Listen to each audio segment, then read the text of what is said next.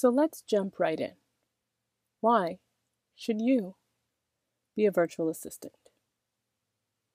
For many people, they want to have the flexibility to stay at home. Maybe they have kids or an elderly family member they need to care for.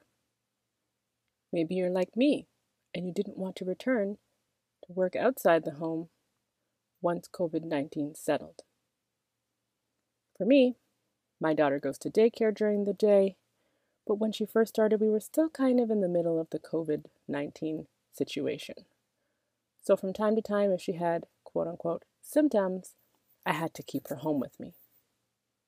Keeping her home was not a big deal because I could rearrange my work schedule accordingly to make sure that I was tending to her while also doing my work. Maybe you're just tired of the regular, regular 9 to 5 and you need an out. Are you tired of working every day, going to and from work? You have the commute to and from work, and then you still have your regular daily routine that you need to take care of outside of the work hours. You have to cook, you have to clean, you have laundry, you have kids to take care of, you have family members to take care of, you have dogs to walk. The list is endless. For some people, being a virtual assistant allows them to travel, to be location dependent. I personally packed my family up and moved to Mexico for four months during the winter because I could. You've also probably seen it a million times suggested online. Become a virtual assistant to make some extra cash. Many people start off being a virtual assistant as a side hustle. Pay off some debt, cover your bills, etc. Being a virtual assistant can be a side hustle that eventually turns into your regular source of income. Many people start off with their 9 to 5 and they do virtual assistant on the side.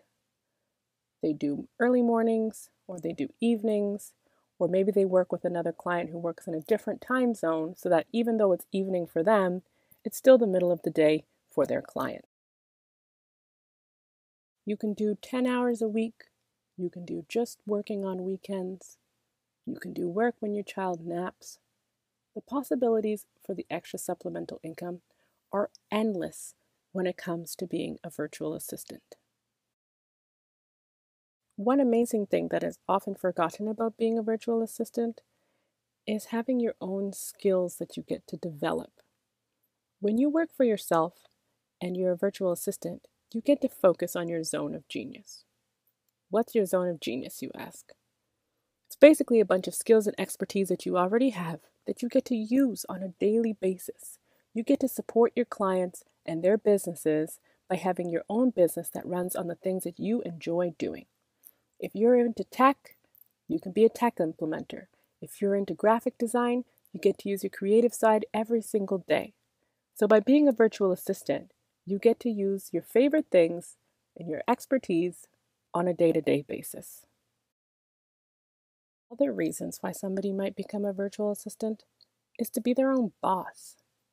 Maybe you're tired of being told what you need to do, and you decide to be your own boss because it means you have your own job security. Your job is not at the hands of anybody else but yourself. You can choose when and where you work, you can choose how many hours you work, you can choose the clients that you work with. Which brings me to my next point. You get to work with many different clients. You decide who you do and don't want to work with if you have a different industry you prefer, if you have a different culture you prefer, or maybe you have different professional networks that you prefer, you get to decide. In this course, I will periodically refer to the workbook, which you can download and print out, or you can simply download and fill it in on your computer as you see fit. You can use the workbook to follow along jot down any ideas that may come to you. So, to start off, in the first page of the workbook, I want you to write down your top three reasons for why you want to become a virtual assistant.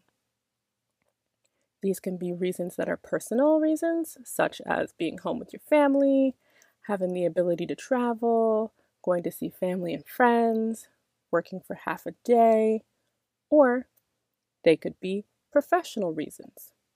Maybe you want to make more money, maybe you have a side income you'd like to do, or maybe you have another side hustle that is not related to being a virtual assistant at all, but you can't get that off the ground because you need an extra source of income.